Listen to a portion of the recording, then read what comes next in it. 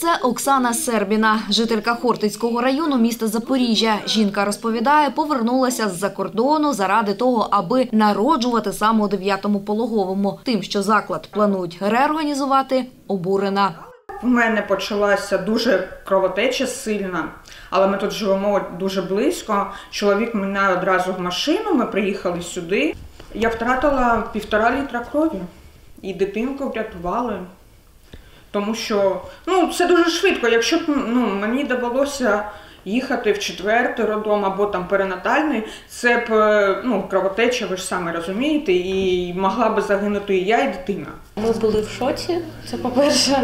Ну і е, нас обурив цей момент, тому що ну, якщо врахувати, е, що закриють дев'ятий, то залишається по факту два чи три пологових на весь на все місто Запоріжжя. Ну я вважаю, що це не трошки недоцільно. І тим паче на ну, зараз це не на часі.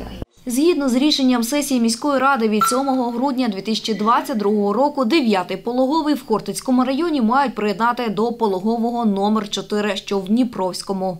Розуміємо, що завтра нам можуть прийти і сказати, що більше у вас немає робочого місця.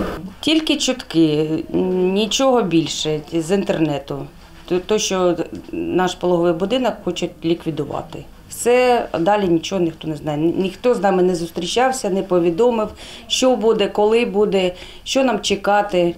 Ми всі переживаємо за свої посадові місця, а так нічого ніхто не знає.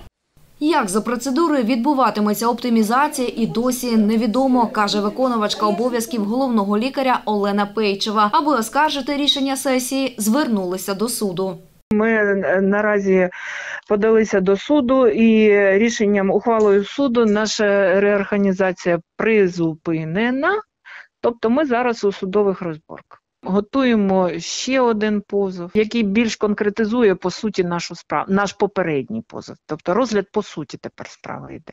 Нині в країні відбувається четвертий етап реформування системи охорони здоров'я. Його реалізацією займається обласна та міська влада, каже керівниця експертної групи програми Ефективне управління мережою медичних закладів в умовах децентралізації Аліса Макаріхіна.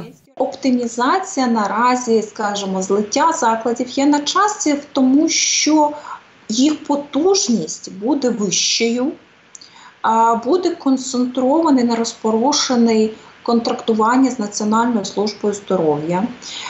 Управлінські рішення, які будуть прийматися, вони будуть мати більш такий загальний характер для всієї території. Питання в тому, яким чином вони відбуваються, чи проходить комунікація, чи залучена медична спільнота до, цього процесу, громадські діячі та, власне кажучи, інші зацікавлені сторони. За словами Аліси Макаріхіної, процес реформування в Запорізькій області, яка тимчасово окупована на понад 60%, має відбуватися після завершення військового стану. Чому у Запоріжжі його вже розпочали? Журналісти Суспільного направили інформаційний запит до профільного департаменту Запорізької міської ради. Чекаємо на відповідь. Анна Черевата, Владислав Киящук, Суспільне новини, Запоріжжя.